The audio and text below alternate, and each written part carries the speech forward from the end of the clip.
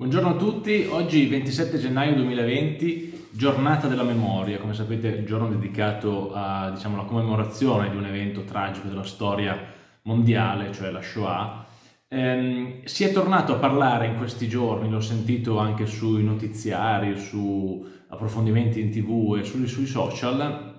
del, eh, dei, della questione diciamo, dei diritti d'autore eh, su il diario di Anna Frank, cioè una delle opere letterarie più rappresentative di questo tema. Um, lasciatemi chiarire un attimo, nel senso che la storia io la racconto spesso quando faccio i miei, i miei corsi e credo che questa sia l'occasione giusta per ritornarci. In realtà la storia è stata, ehm, è stata commentata ed è circolata in vari, in vari articoli nel 2016 perché vi spiego cosa era successo. Sostanzialmente voi sapete che probabilmente magari un po' da sentito dire un po' perché seguite magari i miei, i miei canali social i miei iscritti i miei articoli il diritto d'autore tradizionalmente dura 70 anni dalla morte dell'autore dura per 70 anni dalla morte dell'autore. Vuol dire che una volta morto l'autore si devono contare 70 anni eh, solari e poi dal 1 gennaio dell'anno successivo l'opera viene considerata in pubblico dominio, cioè l'opera diventa patrimonio di tutti, diventa liberamente utilizzabile da chiunque senza dover chiedere il permesso, senza dover preoccuparsi di diritti di esclusiva a carico a favore di qualcuno. Ed fu, e fu esattamente quello che successe nel 2016, perché voi sapete, Anna Frank morì, ehm, morì per mano dei, dei, dei carnefici nazisti nel 1945, ergo i 70 anni della morte scadevano proprio il primo gennaio del 2016, quindi non molti anni fa. Mm, già dal secondo giorno, cioè già dal 2 di gennaio, iniziarono a circolare in rete ehm, versioni in lingua olandese, cioè la, la, lingua originale in cui era stato scritto il, il, il, il libro, il diario di Anna Frank, su, su, dei blog, su dei siti web, ovviamente a tema, sul tema della, della, della commemorazione del, dell'olocausto eh, degli ebrei eh, indicando queste opere, queste copie come opera in pubblico dominio. Eh, successe però che pochi giorni dopo arrivò,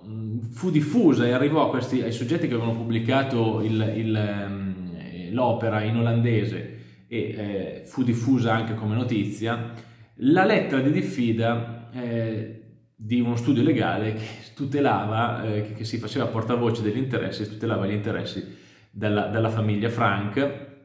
e della fondazione che adesso gestisce i diritti d'autore, del, diritti d'autore, diritti esclusivi in generale sulle, sulle opere legate a, a, questo, a, questo, diario, a questo libro,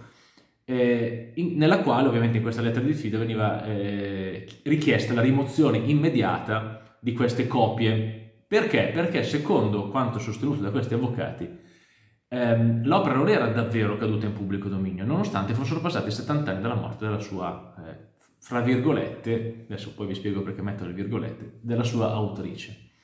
Cosa successe? Che appunto, secondo eh, quanto eh, ehm, dichiarato da, in, questa lettera di diffida, secondo quanto era già stato dichiarato in precedenza, insomma, è un, un, dibattito, un, dibattito, che chi ha seguito un po' la vicenda di Anna Frank e della sua famiglia forse aveva già sentito, il libro che noi siamo abituati a leggere, che ci, è stato fatto leggere più o meno a tutti, non al, al, liceo, eh, in ambito o addirittura forse nella scuola media, quel libro è in realtà la, eh, una versione derivata, una versione rielaborata da parte del padre Otto Frank, che so, sopravvisse a, eh, a Anna Frank e quindi e quindi, secondo eh, anche proprio il, il buon senso e la logica, diventando lui coautore dell'opera, perché ha operato un intervento, diciamo, creativo, autorale, su un'opera precedentemente, precedentemente realizzata da sua figlia, ehm, il, diciamo, la scadenza dei 70 anni non andava, non andava calcolata dalla data di morte di Anna, ma dalla data di morte del padre di Otto Frank, che adesso vi posso dire, non l'avevo preparata, però basta cercare, eh, ecco, è morto nel, il 19 agosto del 1980, quindi capite quanta differenza. Ergo, questo perché io racconto questa storia ehm, quando faccio i miei corsi? Ehm, perché faccio capire quanto il tema del pubblico dominio sia un tema complesso, cioè il, il, ehm, il, principio generale secondo cui basta contare 70 anni e poi l'opera è libera, la possono usare chiunque, è appunto la versione molto edulcorata e molto, molto semplificata di questo principio. Ma nelle opere, eh, per il calcolo delle opere, eh, de, della caduta delle opere nel pubblico dominio, spesso vengono incaricati dei legali e parte anche del mio lavoro, spesso i clienti, soprattutto case editrici, mi chiedono di fare questo tipo di verifiche perché non è sempre così facile, non è sempre così semplice. Eh, capire quando un'opera è in pubblico dominio, mentre da un lato, come insegna questa storia, è facile cadere in diciamo, equivoci intranelli come questo. Poi in realtà qui la questione non era davvero così limpida, perché appunto secondo alcuni eh, gli interventi di Otto Frank non erano stati così determinanti da eh, renderlo coautore dell'opera, dargli un ruolo autorale vero e proprio e dunque non dovrebbe esserci il problema del calcolo dei 70 anni da, dalla data del, del, 1980, ma invece si tornerebbe al calcolo fatto appunto da questi poveri, ingenui primi diffusori del, del, del diario del 2016, cioè che avevano considerato l'opera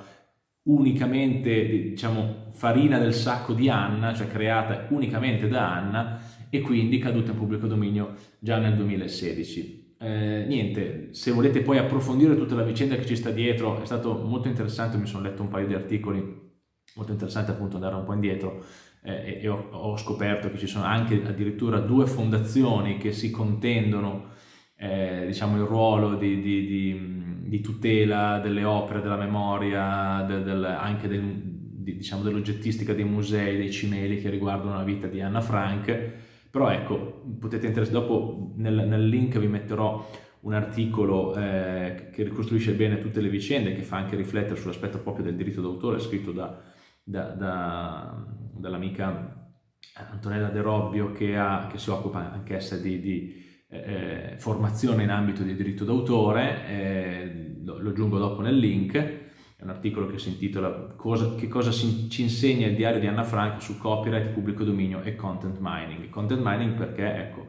questa non caduta in pubblico dominio inibisce anche eh, e non permette l'attività di alcuni ricercatori che potrebbero fare una, un, diciamo, una rielaborazione anche in, in, eh, in versione XML eh, ed estrarre informazioni dal, dall'opera. Vabbè, vi lascio poi leggere l'articolo. Ecco, però un esempio davvero molto molto indicativo, molto emblematico di come è facile cadere in, in tranelli e come davvero il pubblico dominio sia più una chimera che una realtà, nel senso che quando si tratta di capire se un'opera di un noto autore, un'opera letteraria di un noto autore, di un noto poeta o scrittore è caduta in pubblico dominio, tendenzialmente basta andare a vedere la data di morte, non so, voglio sapere quando sono cadute, cadute in pubblico dominio le opere di Gabriele D'Annunzio, vedo che D'Annunzio è morto nel 38, faccio il mio conto e eh, nel in teoria, il primo gennaio del 2009 le opere diventano eh, di pubblico dominio e quindi ripubblicabili da chiunque. Se però succedono episodi di questo tipo,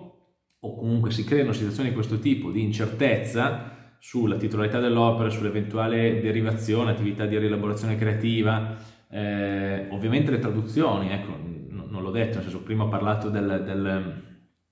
eh, del diario di Anna Frank in lingua olandese, chiaramente le traduzioni hanno i diritti dei traduttori, di coloro che hanno curato poi le traduzioni, quindi se succedono queste, se ci si infila in questi meandri, in questi eh, diciamo vicoli un po' più tortuosi, il diritto d'autore diventa materia molto meno semplice, molto meno eh, eh, lineare di quello, di quello che normalmente si può credere. Niente, volevo raccontarvi questa storia, la uso spesso come esempio dei miei corsi, se andate a vedere le slide, nei miei corsi ho una classica slide sul pubblico dominio, in cui faccio vedere che ci sono tre forme di pubblico dominio, questa di cui vi ho raccontato, cioè il fatto che un'opera dopo un po' di anni, eh, un'opera letteraria soprattutto dopo un po' di anni eh, diventa di pubblico dominio e quindi è liberamente utilizzabile da chiunque, eh, ecco, presta il, il fianco a, a, situazioni come queste. Poi ci sono altre due situazioni, altri due casi in cui si manifesta il pubblico dominio, che adesso vi lascio scoprire da soli se avete curiosità di andare sulle mie slide, dopo magari vi lascio i link